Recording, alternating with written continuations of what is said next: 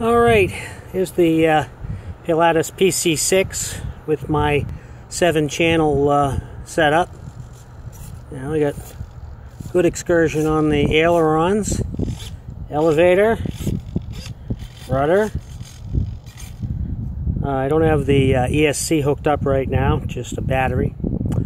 Uh, when I put down the flaps the takeoff flaps position, you look at the ailerons, you'll notice that they're not going down as far as they did before.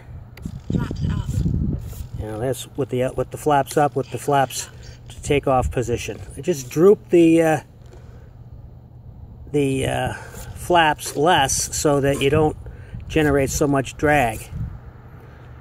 Put them all the way down to landing position, and now there's barely any down aileron motion. That will uh, help with uh, adverse yaw. Flaps up. Now if I.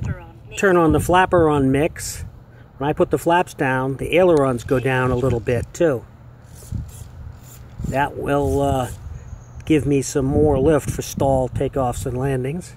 And on landing flaps, they droop just a little bit more. I couldn't tune that all out. And you can really see that the uh, differential really works in there.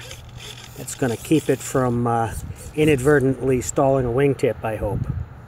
Thanks for watching.